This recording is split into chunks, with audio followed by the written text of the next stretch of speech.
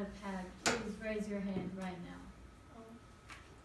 I assume you all love your pets and you try offering them the best care possible. Well, these pets, these animals are loved by no one, and no one is trying to offer them the best care possible.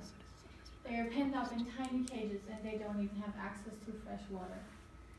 These tigers, they starve to death because they weren't fed. These elephants' feet are tied up together so that he can barely walk. In this lion, he hung, he literally hung himself in his cage because it was in such an unsafe condition. And this happens every single day in the, zo- in the so-called Zoo of Death in Indonesia in Badung. This zoo is still open and is still making profit out of its dying animals. This is just one example of an arm-carrying zoos of multiples worldwide, and it is one of the reasons why I want to persuade you that wild animals should stay wild. We all know how it's supposed to be. I did not just do a lot of research, I've seen wild animals in free nature where they belong, the African wilderness. And this was a point when I realized that wild animals are supposed to live free in their natural habitat. Why? As I will explain to you, multiple races might become extinct due to the poor treatment they receive in zoos. And in addition to this, I will show you how animals are not entertainment and I'll confront you with the ethical question zoos force us to face. You might ask yourself now, how are zoos threatening animal races to become extinct when they are supposed to do the exact opposite? Well, according to an article published by Life Science, the median lifespan of African elephants being born in zoos is 39 years shorter than the lifespan of um, elephants born in free nature or in national parks. According to CARE2, 3,000 to 5,000 healthy animals are annually killed in European zoos because they are considered an unnecessary surplus.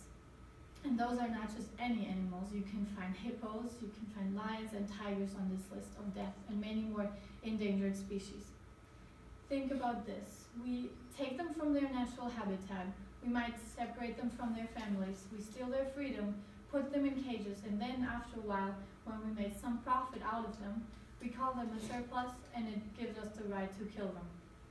We kill them even though they are healthy, they might be endangered, and just we kill them because it puts us in a more comfortable position, as we don't have to care about the treatment they need or the space they might take up. Do you, did you wonder why I keep saying we? Because we are all letting this happen, and we are right now not doing anything to stop it. And this leads to the extinction of wild animal races as well as illegal hunting or trading with them. And keep in mind that the statistics I provided only counts for Europe. So what's really going on in Asian or American zoos, that's not even documented. That means the 3,000 to 5,000 killed animals might be just the top of the iceberg. But apart from killing them, many people consider wild animals being entertainment. I wondered where did this thought came from. I honestly, I have to admit, I don't even know. I don't know when we decided that we have the right to rule over the life of living creatures. All I know is that wild animals, or any animals actually, are not entertainment at all. They are living beings and they feel pain and anger, and sometimes they pay with their lives just for our entertainment and amusement. What kind of relation is that? I just I ask myself how much is my amusement really worth and how far am I willing to go for it? According to an article published by the Dodo in Oshkosh in Wisconsin, a zoo worker left the gate to an off-limits area of the zoo open, and visitors took advantage of this opportunity to get closer to the zoo's wolf pack, to get closer to the entertainment.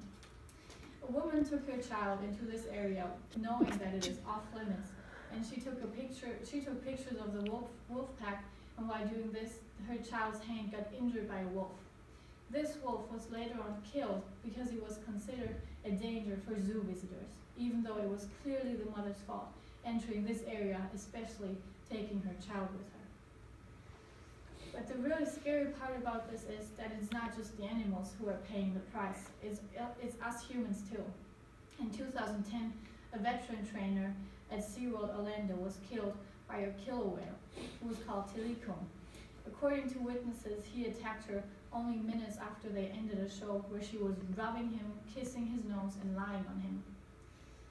He brutally attacked and killed her, even though, according to the veteran's Turner's sister, a statement was published by Daily News and it said she's been loving these whales like her own children and she's been training them for years. The point is, this tragedy didn't have to happen.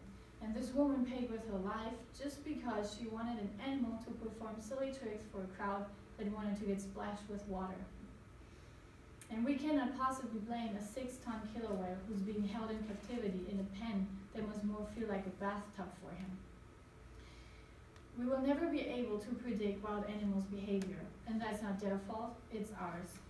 It's ours because we consider them entertainment, even though they prove every single day that they aren't. It is not supposed to be like this. There is no natural scenario where humans are supposed to be this close to wild animals.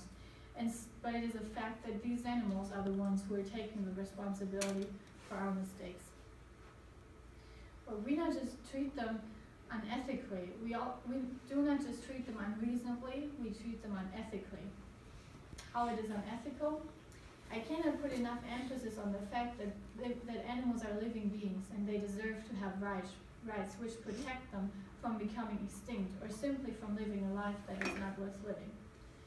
We have to ask ourselves, are wild animals having a fulfilled life in zoos? Do they have enough space, freedom, and activity? The answer is no.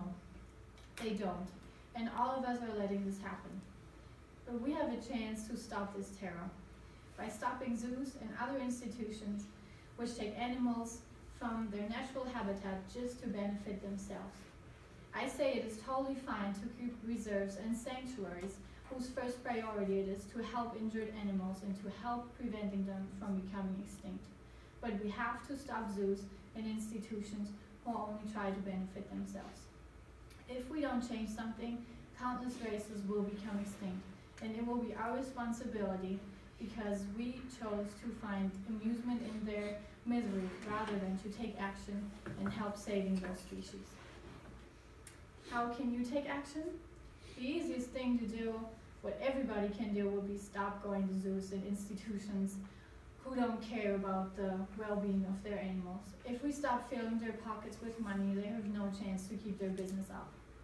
In addition to this, we all need to convince our families, friends, and especially ourselves that zoos are not helping animals, that they are making them become extinct, that they don't care for them, and that it's not right for them to live in cages. In addition to this, if you feel like bigger action, I um, provided some petition links after the presentation. You're more than welcome to write them down if you want to. There are countless petitions against zoos, against animal abuse, trading and hunting, and every single name on this list is a step into the right direction. So I say, now I offered you a look behind the scenes, and it is your turn to take action. We all can make a difference.